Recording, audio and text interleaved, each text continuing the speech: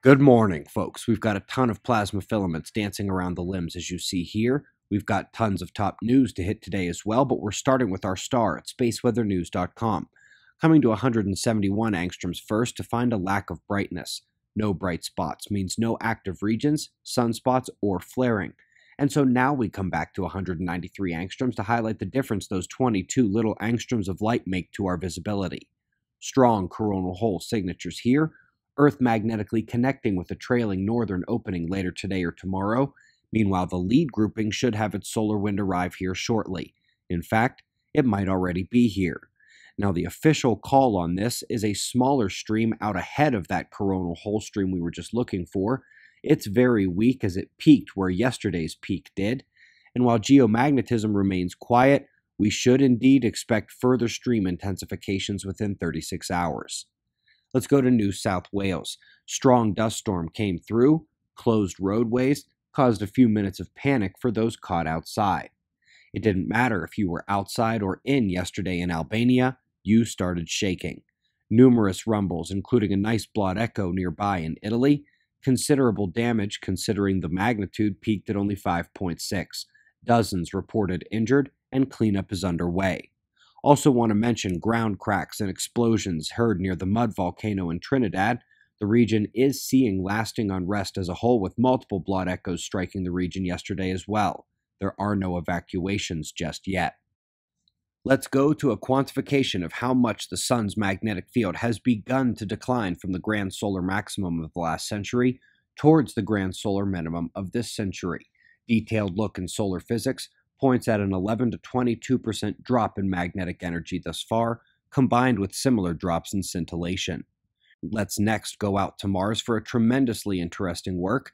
Not only does the nighttime magnetosphere of Mars pulsate unexpectedly to a considerable degree, but the crust of the red planet is far more magnetized than anyone could have believed.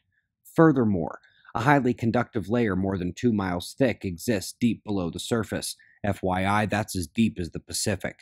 Here on Earth, the subterranean biosphere outweighs the life on the crust, and if life ever existed on Mars, it may still exist locked deep below the surface in not too dissimilar conditions to those in which it existed when Mars had oceans and an atmosphere. Quick note IOP Science went down last night and is still down this morning.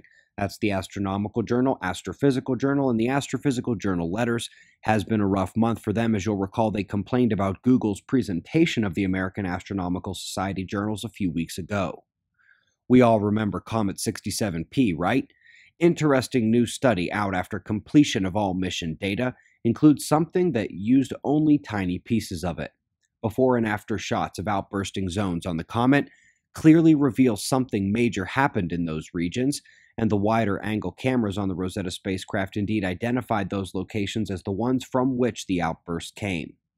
In a fantastic move by solar terrestrial physicists, they're beginning to understand the mechanisms of space weather effect on hurricanes, typhoons, cyclones, and the like.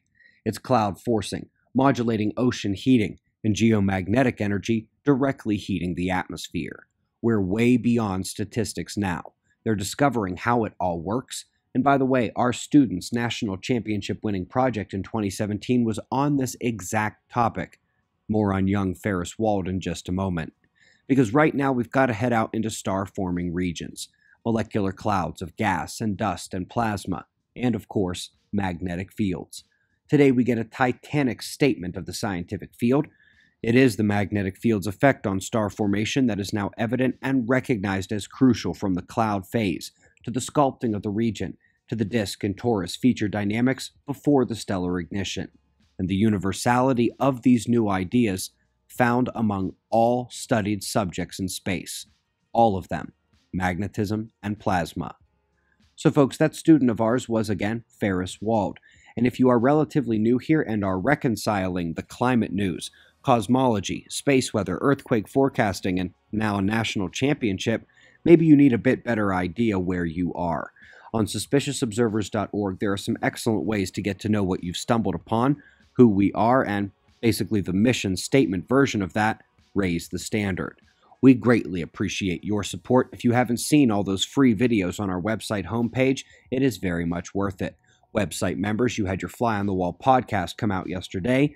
We've got wind map forecasts and shots of our star to close. We'll do this all again tomorrow, right here, but right now it's 4:20 a.m. in the new Valley of the Sun. Eyes open, no fear. Be safe, everyone.